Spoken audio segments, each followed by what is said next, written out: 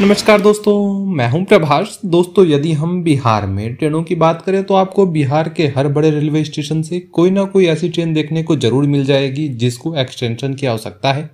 चाहे हम बात करें बरौनी से, नई दिल्ली के बीच चलने वाली हमसफर एक्सप्रेस की, जो कि पहले चलती तो थी सहरसा से, लेकिन इसे बरौनी से किया गया। और बरौनी से चलने के बाद एक बार फिर से डिमांड उठ रही है कि इस ट्रेन को सहरसा से चलाया जाए, क्योंकि रेलवे का जो रेवेन्यू है वो तो कम हो ही रहा है।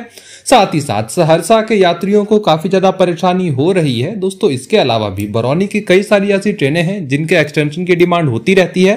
दोस्तों, ऐसी ही एक ट्रेन है बरौनी से लखनऊ के बीच चलने वाली एक्सप्रेस ट्रेन अब दोस्तों, यहाँ पे रेलवे ने खुद फैसला लिया है कि इस ट्रेन को चलाया जाएगा भागलपुर से। दोस्तों, क्यों ऐसा फैसला लेना पड़ा और कब से ये ट्रेन भागलपुर से चलेगी? आज हम इसी पे बात करेंगे।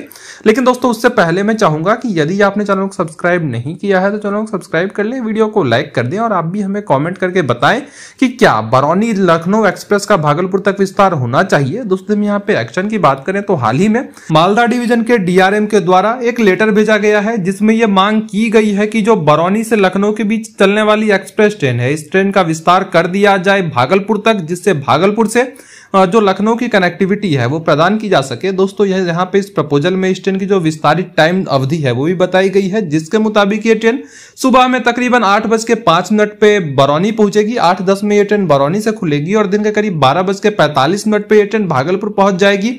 वापसी में यह ट्रेन दिन के करीब तीन बज के पैंतालीस मिनट पे भागलपुर से खुलेगी और रात के करीब आठ बज के पंद्रह मिनट पे बरौनी पहुंचेगी और आठ पच्चीस में यहाँ से निकलेगी।